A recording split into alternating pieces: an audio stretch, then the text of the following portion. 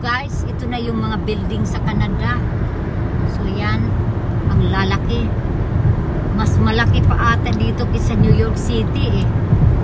In 800 meters, use the right two lanes to take exit 146 for Lakeshore Boulevard toward Ontario 2. Ano sa mga opisina? Pero wala lang. Kung ano nga man na nila pinturahi. Para gaganda rin sana ba? Nagturahan nila. Tapos ang Min? Use the right two lanes to take exit 146.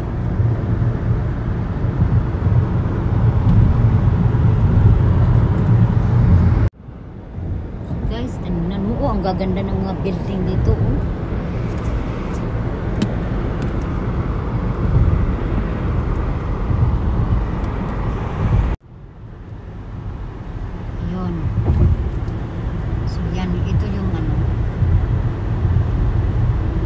200 meters, merge onto Lakeshore Boulevard West.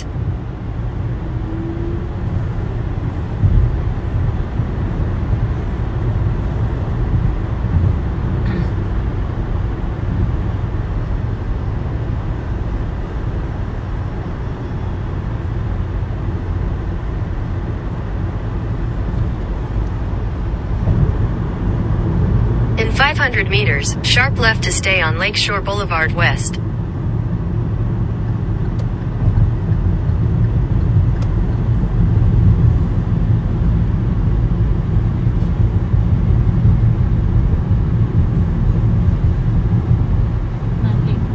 Ano yung lake? In two miles, Wala, baka pwede tayo mag-fishing dyan, East. Sharp left to stay on Lakeshore Boulevard West. Ano daw? Show Boulevard West?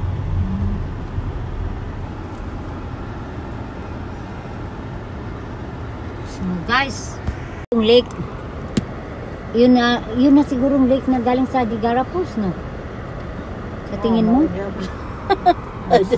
Tanawa din. Sige mo check tanaw. Sige tanaw. Nakakatawa. Siguro kay akala oh, akala In ko niya 300 siguro meters, keep siya left at the fork. Follow signs for Oh, Gardner wow, so Expressway West. Head northeast on Lakeshore Boulevard West. Sharp left to stay on Lakeshore Boulevard West.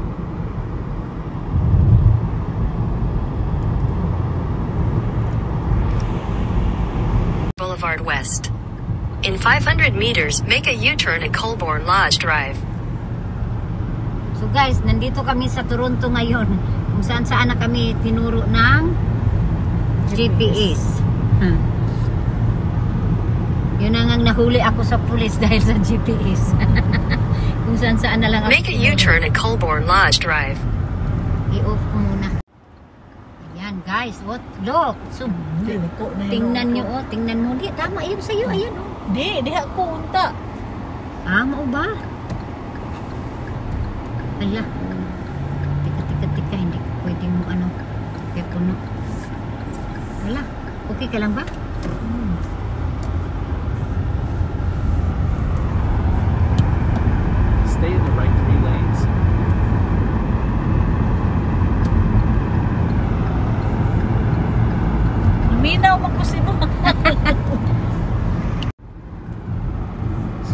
Ito yung Canada, guys. Oh. Nakita nyo? How pretty is it? Ayan, ang laki. Parang dagat. Ano kaya? Dagat kaya yan? Uli. Kurang imong gitundo ang dalan. Yan yung ang dagat. Nasa mong dagat. Uy, ang katapat niyan, di ba ang New York? New York yan. Lahi na, lahi na. take a slight left ba? turn to merge onto Gardner Expressway East. New York to ano ba? Layo Ay, ibig sabihin, dagat na yan. Three hours ba yata nahagikan sa Ay, New York? nga. Four hours na.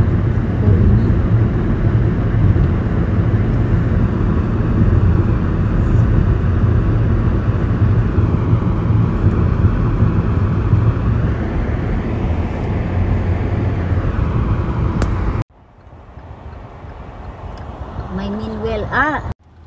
So guys, meron din ditong windmill. Ayan oh. Yan, yan. Nandito pa rin kami sa Toronto, Canada. Nag, nag ano lang, nag Paikot-ikot. joyride.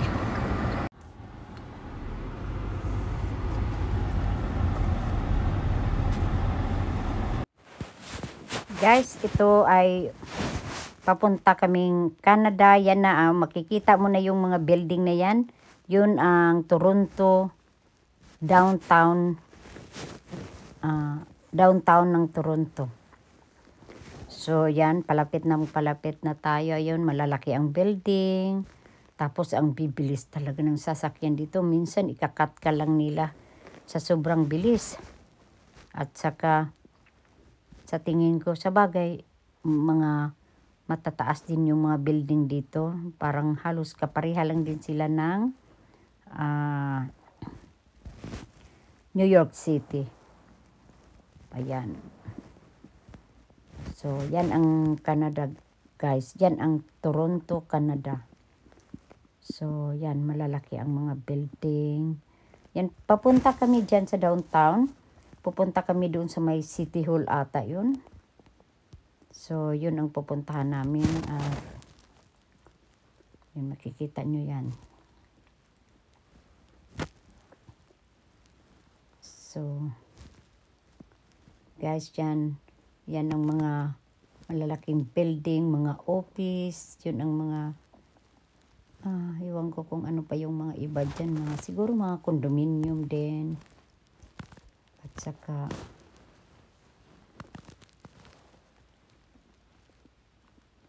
papunta na kami actually yung ano papunta kami doon sa aming kapitbahay sa Antipolo kasi ito yung pinakamalapit na daan papunta doon. At itong building na to ay napakataas. Tingnan mo. Taas na ano. At tabing lake din yan sila. Yung yung building na yon so ito naman yan. Dito kami dumadaan papunta doon sa bibisitahin naming kapitbahay sa Antipolo. At ayun no, tingnan mo yung mga mga kahoy dito. Talagang ang lamig-lamig na, nag-iiba na rin ang kulay. Tapos yun. So maganda rin ang Toronto, guys. Ito siya, yung Toronto, Canada. At yung mga konting ano yun yung malaking building so yun pero hindi ko lang alam kung anong mga klaseng building yan hindi ko pa kasi ah, first time ko palang pumunta dyan at hindi ko pa kabisado ang mga lugar so at saka dito naman ay nahanap na namin yung malapit na kami sa Toronto City Hall doon mismo Hi guys, nandito na ako ngayon sa Toronto. Ito yon. Ayan, nakita nyo yung nasa likuran ko. Yan. So, at saka guys, nakita nyo yon. Nakita nyo yon. Ay, nakita nyo yon. How beautiful.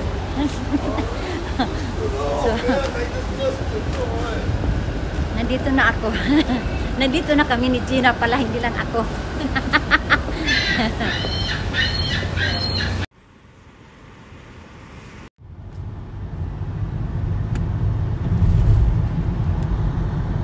Oh, masalingan ka ng Ontario.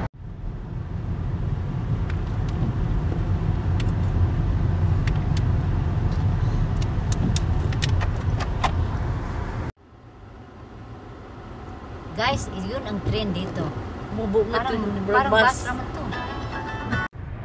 So guys, ayun. Papunta na kami, pauwi na kami. Gabi na. Ang oras ay alas 8.23. Alas 8 daw niya, 23. 8.23 ng gabi. County Road 403 toward Highway Q.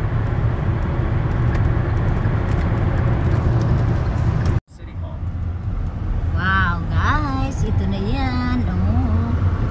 Ito na yan. Dito na kami. Ayan.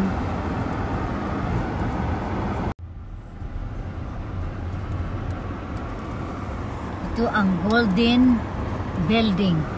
Yan oh. Tingnan mo ang taas kayo. Yan. Para din New York City, para ding ano, di ba? Pero mas sa tingin ko mas okay okay rin dito. Kaya parang ang daming Pilipino dito. kasi. Naikuan ko So guys, mauna na siya ang clock. Dakong orasan. Ayan, oh, dakong orasan. Ito yung Toronto, Hindi, bakla Canada. bakla tata. Canada. Ako tayo. Kani diri? Kiniin ko karaan. Wala ko kanindot ano ang building oh. Parang nasa alam mo ba yung nasa England ka? Simbahan na siguro na ako. Oo, para bang alam mo ba yung kuan ni ah, ay sino ba yun yung bang may magic magic Harry Potter? Di ba? Mas hindi ah. Oo nga, tanawa oh, ang building parang Harry, Potter nga. British ko ano ni sila. Mhm. Ang ganda kung wala lang sanang ulan oh.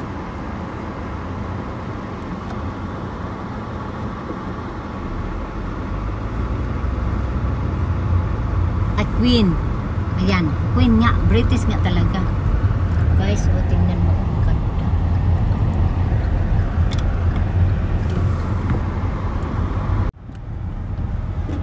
Ayan, Kaya mga mauman ni ang kuan. Oh, taagi. entrance. Kani entrance? Makaliko ka diha. Oh, car Karwas. ha. The destination is on your left. Toronto City Hall. Ay, City Hall pala yun. Hindi ko lang ko. Na may park dito.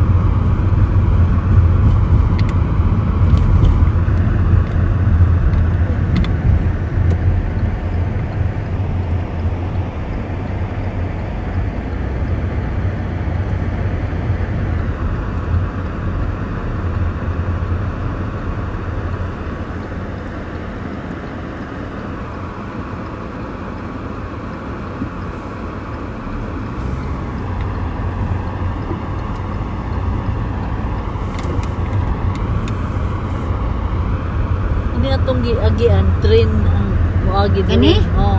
Hantod karon? Oh. Ay, oo nga, kanya oo. Kanya, anong dili man tani agi? Dili lang kay. Kani, three naman siguro na siya. Ubas.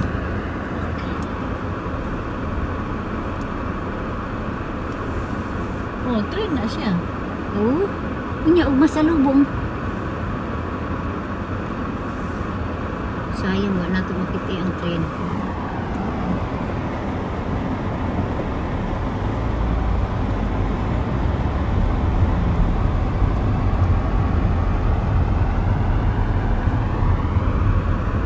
Susubag na lang tayo magpa-picture. Kaya kung saan maulan man. Sige lang. Balik na lang ta sunod.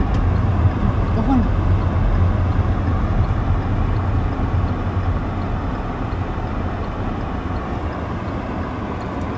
Watu Seafood Restaurant. Parang Watu. May Chinese din dito guys. Parang akala mo nasa China ka. Tingawan ko nga. One way ticket to the blow. Ha? Usok lang na siya.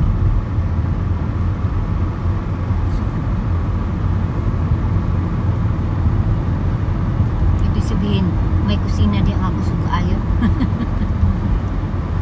Ni ang si Jose Rizal na saan? Ah, pagbisita na ni Jose Rizal diri sa Canada.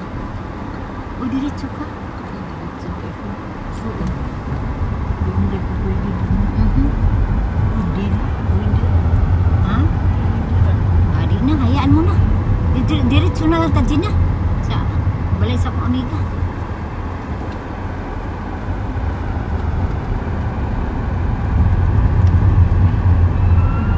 Ala, sabi ko na nga eh. Ano bumbiro? Oh. Usok lagi, usok ka ito usok. Ayan oh. Yun na oh.